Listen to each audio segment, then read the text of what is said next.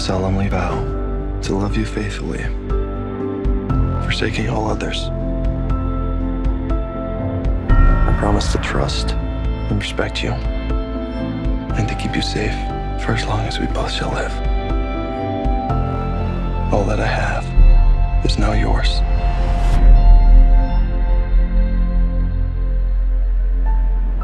You own this? We own this.